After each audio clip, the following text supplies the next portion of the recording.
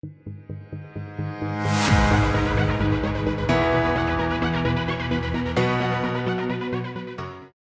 guys, welcome to my channel NexTutorial and in today's video we're going to be doing a hard reset or factory reset on the LG Q7 Plus.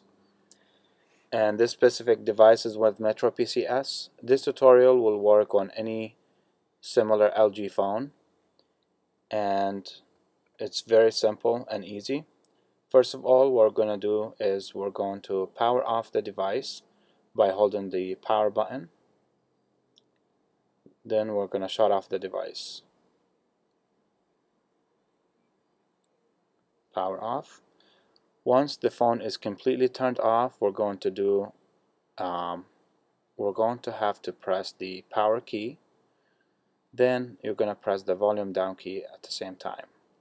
So when you press and hold, as soon as the phone turns on, release the power, then press the power again and keep holding until you get to the recovery screen. When you get to the factory data reset screen, it's telling you that everything's going to be deleted. You want to scroll down to yes, press the power key. It's asking you the same thing again. Scroll down with the volume down, then press the power key again. Once you click it, it'll take about 5-10 seconds. Then it's going to shut off the device. Then it's going to start erasing everything off the phone. This is it guys. This concludes our tutorial for today. If you like my video, make sure to like and subscribe my channel for more. And check out my other videos as well.